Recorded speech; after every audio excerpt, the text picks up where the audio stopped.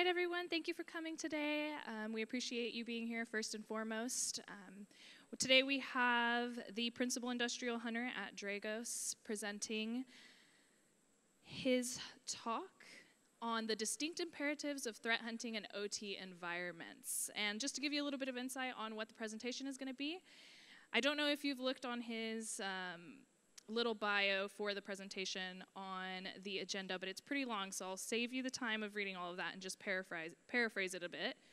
So let's see.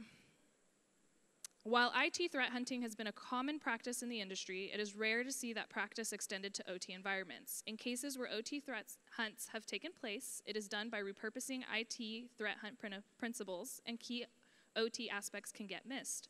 For example, since threat hunters usually come from IT, they primarily investigate techniques motivated by financial gain. However, in OT environments, investigations must look beyond financial incentives to the sinister goal of compromising and possibly disrupting an OT system or process. So I'd like to present to you our speaker for today, John Burns.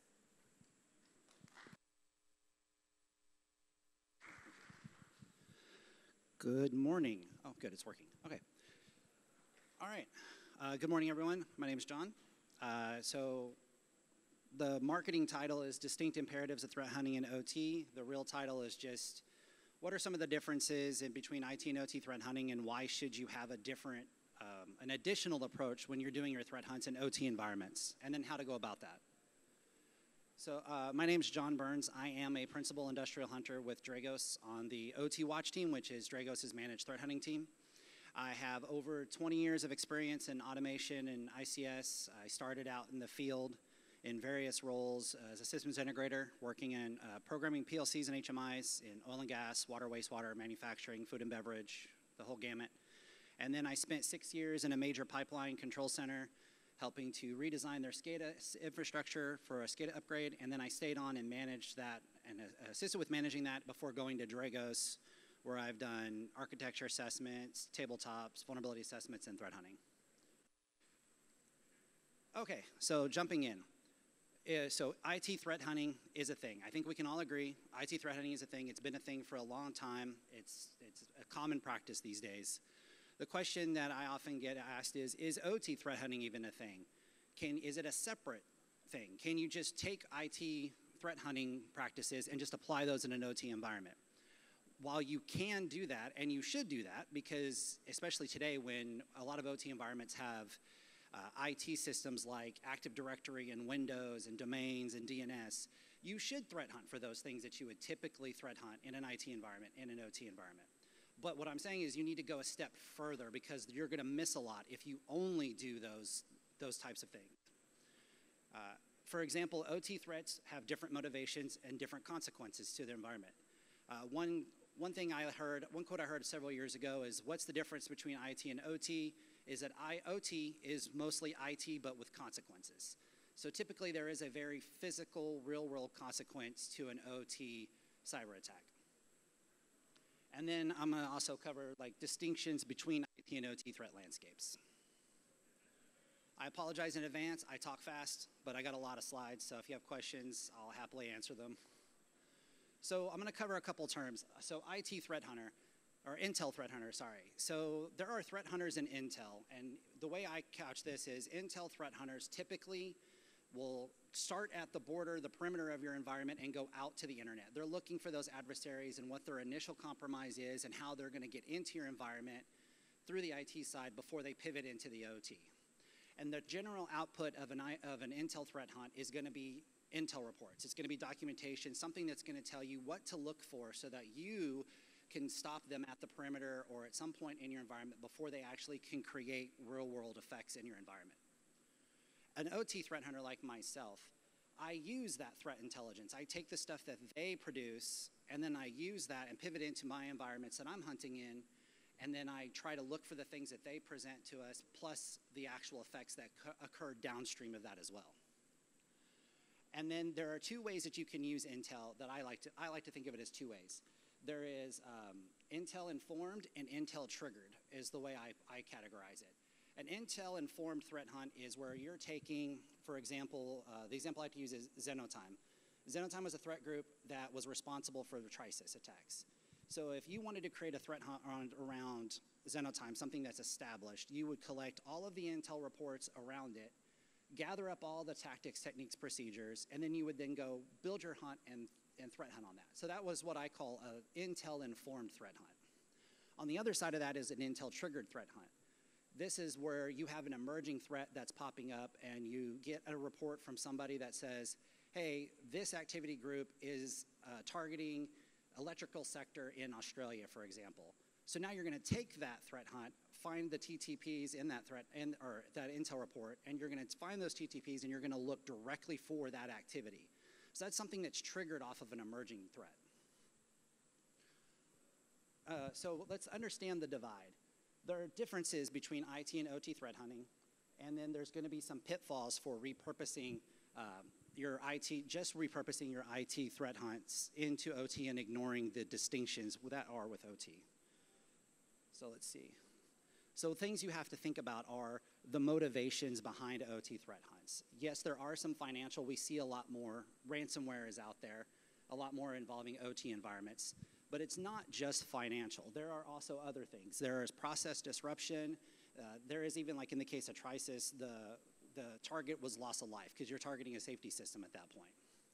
And then also the other thing you want to think about is you want to know that there are different assets and different processes in those environments. And it's very important to understand that the, so you can understand the distinction. So for example, I have two examples up here, uh, Nmap scans and Oasis DNA. So I have these for a reason. Nmap scans, basically an Nmap scan is an empty packet ping across the network where it's trying to pull in and see what devices are online. However, in an OT environment, there are lots of software out there that does management of OT devices, that that's how they do heartbeats. They send empty packet pings out and they look for those responses back to understand if the OT device is online. So if you're not aware of that and you see that, some systems can categorize that as an Nmap scan and they'll think there's Nmap in the environment. So you have to understand what's going on to understand that's not Nmap. And then Oasis DNA is another one I like to talk about from my past life. Oasis DNA is a, uh, for those that don't know, it's a SCADA solution from Schneider Electric that's very popular in um, oil and gas pipeline control systems. Excuse me. Um, and it's very, uh, when it's deployed in Windows, it's very ingrained with the Active Directory structure. It does a lot of, it gets all of its permissions for if you can access a data point from the Active Directory side. So as a result, those assets, those, those workstations and servers are doing synchronizations that look like domain controller syncs because they're pulling those Active Directory records back. So in your environment, you're going to see a lot of traffic passing back and forth that looks like domain controllers from non-domain controllers. That a lot of times is, the, is a key indicator of maybe that's uh, Mimikatz or maybe that's a pen test that's happening where they're trying to pull those Active Directory creds back. But that's just an OASIS system, like the remote console system connecting to the operator workstation trying to find out, can I give these graphics to this operator workstation to this user because this Active Directory user is requesting these graphics.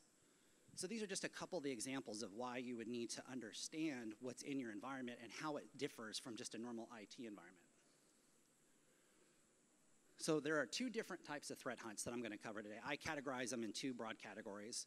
One is a structured threat hunt. So a structured threat hunt is your more traditional model, where an, where an analyst uh, creates a hypothesis, develops the hypothesis, they scope it, and they're looking for something very specific.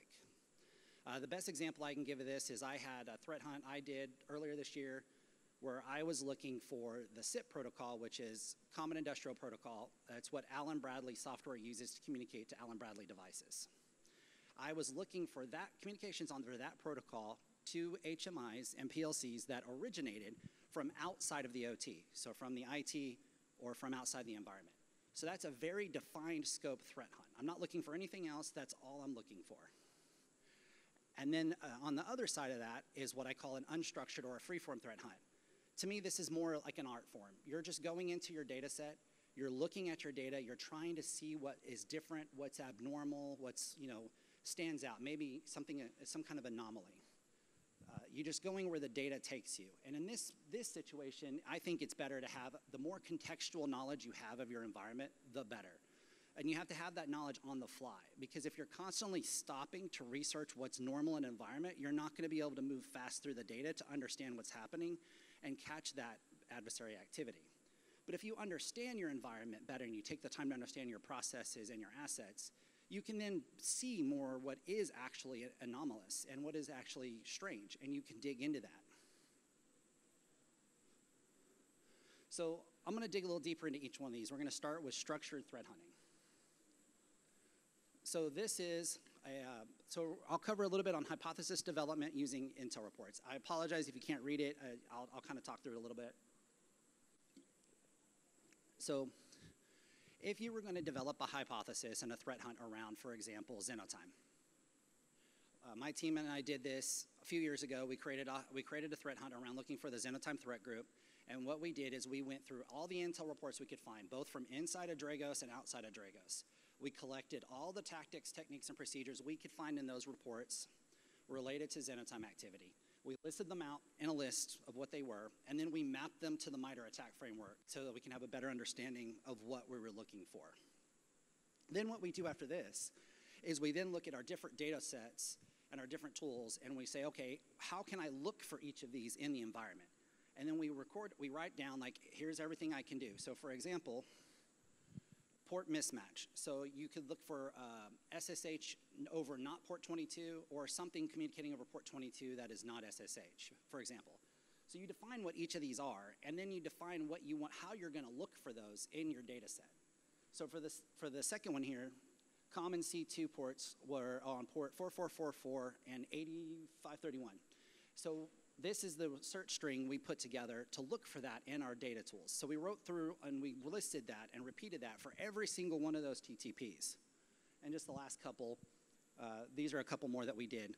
Uh, sometimes you can do it just with a straight data pool and a search, but sometimes you have to take more of a statistical analysis approach. For example, this bottom one, the brute force. Anybody that's worked in uh, maintaining systems will know that if you have one software solution that it's misconfigured with the wrong password to attach to a service, you can have easily tens of thousands of false logins, you know, uh, uh, unsuccessful logins because of that misconfiguration. So if you take a statistical approach where you're plugging that all down into counts, now you're looking at individual types of logins, and then you see a count next to it. It's easier to see the data set um, and understand what you're looking at. So the importance of aligning threat hunts with specific OT assets and processes. So it's, this is where um, we get into more of the detail of the OT environment. So I, you want to align it to specific OT assets, and that's, that's important because OT assets communicate differently. Even if you have OT assets at site, this one site, they'll be different here. A PLC is not a PLC, it's not the same. Allen-Bradley communicates different than Schneider Electric, which communicates different than Phoenix Contact, which communicates differently than Modicon PLCs. So they're all going to be different. So you have to understand what's in your environment and have that visibility to know what assets you have so you know what to look for. And then you also need to understand your industrial process that's going on. Understanding your industrial process lets you see what's going to be the most likely target for an adversary uh, on the physical side. What are they trying to cause? What effect are they trying to make happen in the environment? And that'll help you prioritize what you're hunting for which gets me to uh, doing more of a consequence-driven threat hunt. So crown jewel analysis, if those of you don't know, uh, or CJA, is the identification and prioritization of critical data, logical assets, and communication paths or control interfaces that are required to exercise control and thus the uh, functions and processes within a system. So I like to use this method when doing, when prioritizing threat hunts in an environment and it allows you to prioritize it from a most dangerous, most likely, down to the least dangerous, least likely uh, type of scenario that you're going to get. And some examples of crown jewels when you would come out the other side of this would be uh, HMIs, PLCs, RTUs. Those would be things that would be crown jewels on the other side. So what, let's break down the, the threat landscape. So the threat landscape, sorry, I forgot something actually. Uh, oh, can you go back one side? Is it possible? Maybe not. Okay, I'll just talk about it. So when you're actually going through the, the CJA, there are three questions you want to make sure you're asking when you're going through that process to identify your crown jewels. One is what are the ICS OT network assets uh, and or their components that are critically relied upon to produce a functional output of the system. Uh, the second one is what ICS OT network assets and or their components are critically relied upon to maintain the safe states of that system.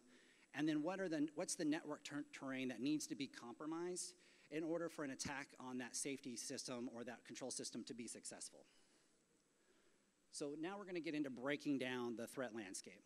So a traditional setup is going to be like you have your attack surface going from the through the cyber domain into the cyber physical interface, and then on into your physical domain, your actual physical devices. So in a traditional control system, the level one controllers execute control logic, uh, and that and then they also communicate with the level two supervisory control layer. And then in a, typically a PLC or an RTU, they generate control commands, which are level one basic control, based on inputs from the field, and that is in a typically that's in a closed loop environment. And then that and then they have control outputs, and then they and then they also interface with the supervisory layer, and they execute su supervisory control layer uh, commands. So because it, it interacts in a closed loop on the control side, it, the attack surface, it's very difficult for someone to take advantage of that and to actually exploit the, the, uh, the controller itself inside of that environment because you have to get inside of that closed loop and interface with that program and change that program and modify it. On the other side, due to where the supervisory control lives, which is up in the cyber domain, you have to, that it has a lot more of exposure to be exploited. So let's go through a, a the basic crown jewel analysis model. Um, so when you're doing a crown jewel analysis, uh, you want to understand your, what the functional output is or the primary purpose of the system that you're looking at. And what, the, we do this because we can work to isolate and capture what's most likely and most dangerous attack scenarios of an environment that we face. And what, can, what we can do is identify uh, the, depend, the, sorry, the dependencies of functional processes that would most likely be attacked based on a given scenario. So when you're going through this, one of the questions you want to ask, if, it, if it's your own environment, if you're the asset owner, you want to ask yourself or the people in the field, or if you're doing this for a customer, you want to ask your customer, what's a bad day look like for you? What would be a bad day? So you can then see what the physical effect on the other side is going to be that somebody would try to create. And then you can take that and run that through this model to get to what those cyber assets are that are going to be your crown jewels. So you would start, and you would start with system owner, which is basically going to be your customer probably, most likely. And then you're going to pull that down to the critical system or subsystem, which would be like a collection of assets, a facility, some kind of terrain like that. And then you're going to go down to the critical function or subfunction, which is going to be the actual process heating, cooling, piping, distribution. Uh, and from there, you go down to critical components. This is the physical side of the cyber physical interconnect. This would be like your pumps, your valves, your tanks, your, your uh, flow meters, things like that. And then from there, you go to the cyber side of the physical cyber interconnect, which are your controllers, your PLCs, your RTUs. Once you've gotten to that point, you can then identify your crown jewels, which are going to be things like the PLCs, the HMIs, sometimes domain controllers, gateways, just different systems like that. And when you're stepping through this process, each level has a, func- has a functional dependency on the level above. So you can't step down to the next level until you have identified where you're at. So you have to go through this in order. And as you're going through it, there are three questions you want to ask. The first question is what, uh, what elements contribute most to the functional output I'm looking at? Uh, what functional dependencies do different elements within each layer have? And then where is my greatest functional dependency exerted upon the control system assets? So basically what we're doing with the control, uh, with the crown jewel analysis model is we're taking this and we're starting with the physical domain instead of the cyber domain. And it's allowing us to go down through and we're able to quickly map um, uh, the required path to target by an attacker, which allows us to do some hypothesis generation that can be made by analyzing that path to the crown jewels, and then we can do some hypothesis generation around that path. So why is this important? In a uh, excuse me, in an, in an OT environment for an organization, it can be very broad. It could be, there, you can have small ones, but you can have bigger ones. Take, for example, a basic uh, river authority. a basic river authority will have things like dams, uh, pump stations, check stations, uh, treatment plants, and distribution systems. In each of those systems, there's going to be pumps, valves, tanks, filters, any number of equipment and components, all controlled by different PLCs, all interfaced and controlled by HMIs, both local to the site and remote. That's a lot of stuff. So sometimes that could be overwhelming as to where to where do I start? So by going through this model and starting with what's a bad day, you're able to then prioritize that and know where to start. You can just go down your list from that most likely, most dangerous to least likely, least dangerous, and you have a starting point and like you can just go straight down those threats and straight down those physical effects till you find all the things you're looking for and you can then hunt for all those in your environment.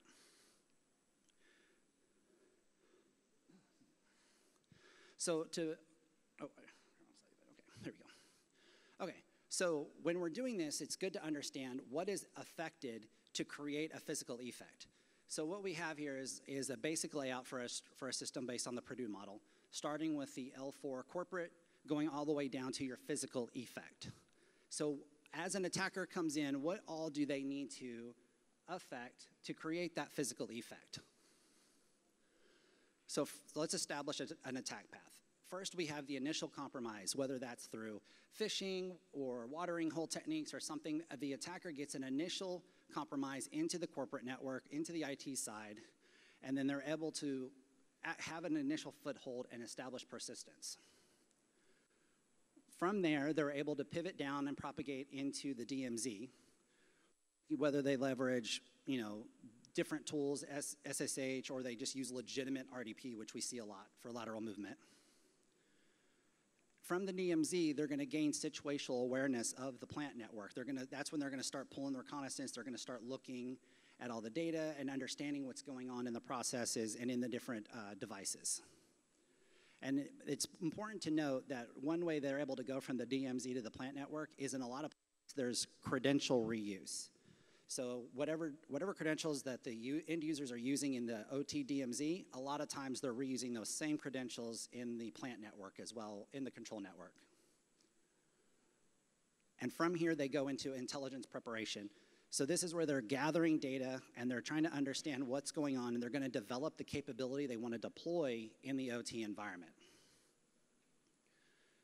And then they progress into the plant network, and that's when they're going to start interfacing with the PLCs, and they're going to start like pulling programs and loading programs. And then they're going to go into the plant control network, and then they're going to go into delivery of the logical effect. So this is where they're actually making changes to the PLC, whether that's uh, uploading a new program to the PLC or whether that's issuing supervisory commands to the PLC.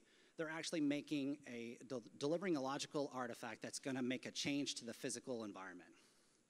And then that's going to lead to a cascading physical effect in the environment, whether that's something goes offline, the process is halted, uh, a pump like seizes up, a valve stops working, something's going to happen.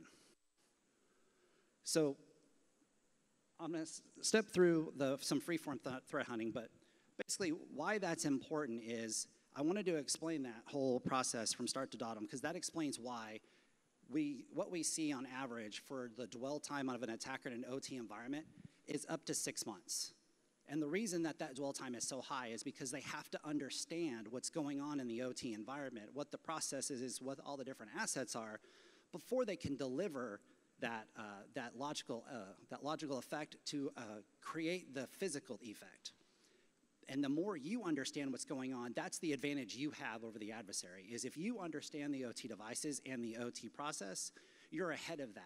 So if you start in the physical layer and you work your way up to the cyber, you can, you're no longer chasing the adversary through the network, trying to find them. You're starting at what their end goal is, and you're working up to find them where they are, if they're in the network at all. So I'll step through some free-form threat hunting as well. I'm gonna, I'm gonna have screenshots of one of the tools that I use. Um, you can use any tool you want and reuse these same principles. But I'm to step through this and kind of relate it back to the, uh, the, the, logical effects to the physical effect as well from the previous slides. So this is a, basically what I'm showing here is this is a statistical representation of the data, the data set that I had available to me when I was running through. This is just a, um, a PCAP of some dummy data that's loaded into uh, one of my tools. Uh, and I wanted to show the importance of statistical analysis because in a small PCAP, I have over 1,100 records. And if you're just looking at 1,100 individual records, things can get lost in the shuffle. You can miss something, or it could just take you a while to find it. Versus if you're doing a statistical analysis of that data, I've broken 1,100 records down to 24. So 24 records are easy to see at a glance, much easier to see at a glance than 1,100. And when I'm looking at those 24 records, the one thing that jumps out at me, for example, would be the Cobalt Strike C2 that's sitting right there in the upper right corner. There's three, three, yeah, there's three of those. And at three out of 1,100, you might possibly overlook one of those, or maybe all of them if you're not paying attention. And like I said, this is a small PCAP. So if you can't read, I'm going to talk through it, so that's okay. Uh, basically, if you dig into that Cobalt Strike uh, data set, that notification, you, what you're seeing here is we're seeing an enterprise workstation that is beaconing out to an IP address that's external to the network. So that's showing that initial compromise that the attacker got on the corporate network and they're establishing their persistence and their command and control. From there, we look into, we pivot into more data around that enterprise asset that was showing that it had a Cobalt Strike on it, and I'm looking for things that other things that that asset is doing. The first thing I see is I see multiple Suricata alerts for host. So I'm going to look and see what those are. And as I'm digging through that data, one of the things that popped up here at the bottom that you may not be able to read is SMB executable file transfer.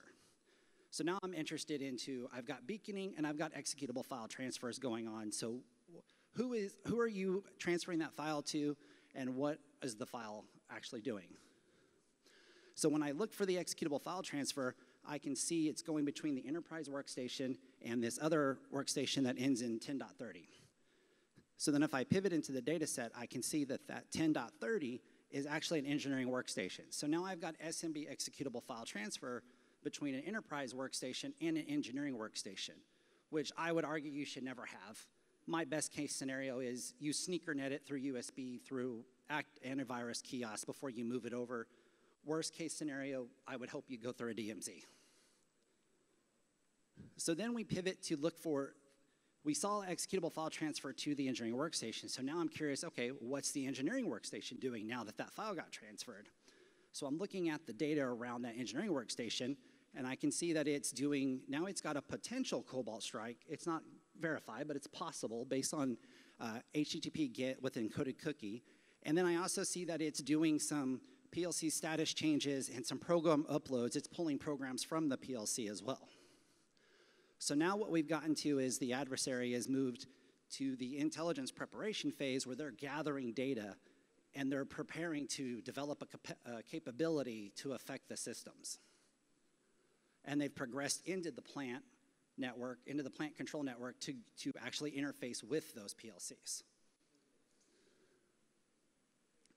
So what I'm here, this is I uh, like continue to look on and see what's happening, and I can see you know, C, uh, PLC file access, status change of the PLC, and then we see date time change of the PLC and an actual program download to the PLC over CIP. So now we've gotten to the point of the delivery of the logical effect. So now they're actually making changes to the PLC, modifying the code and uploading the code. And then we see some few more status changes and program uploads, some uh, CPU locks and unlocks, followed by a forced stop of the PLC. So now we've got to the point where the PLC has been force, forcibly stopped. So now we've gotten to the physical effect. So now that they've stopped the PLC from functioning, it's no longer controlling the process. It's not turning pumps on and off. It's not opening and closing valves. It's not monitoring tank levels or flow or anything like that. So now the process is halted. And in certain environments, that could be as simple as they fa- everything fails to a safe condition and the process stops that could be millions of dollars lost.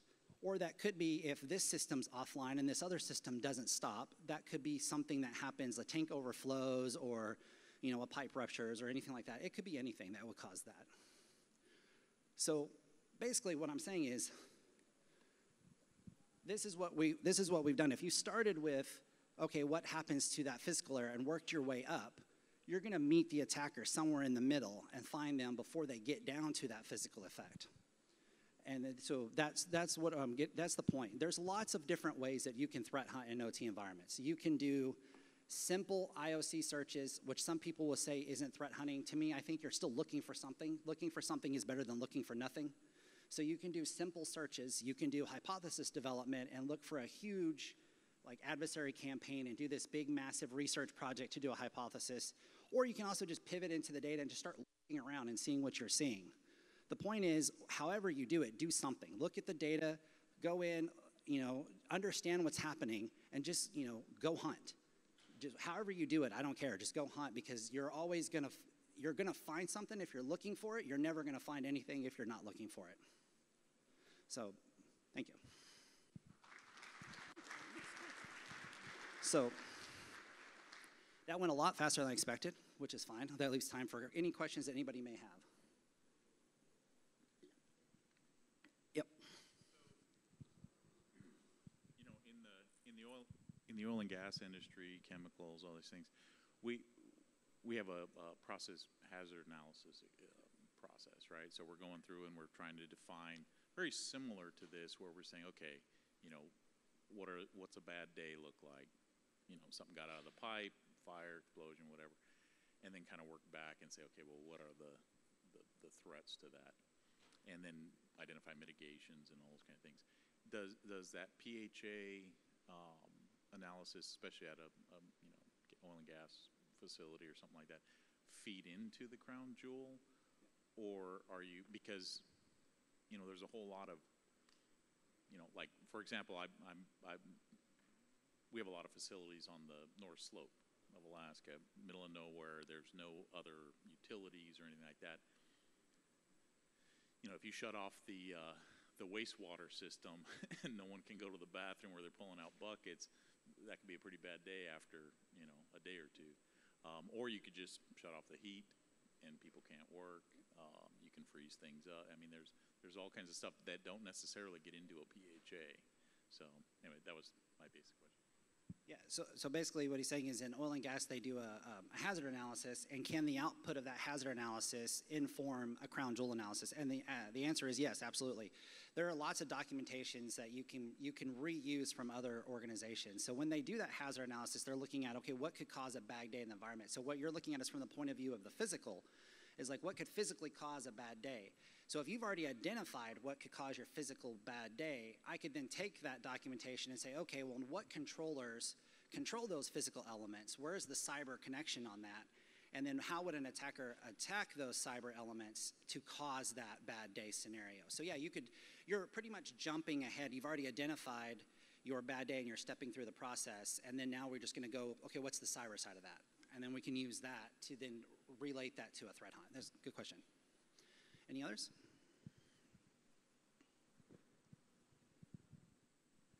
I'm, I'm here. I'll be here most of the afternoon, so if you see me and you have another question, you can feel free to hit me up. I'm fine. All right. If there's no other questions, thanks, guys. Enjoy the rest of your day.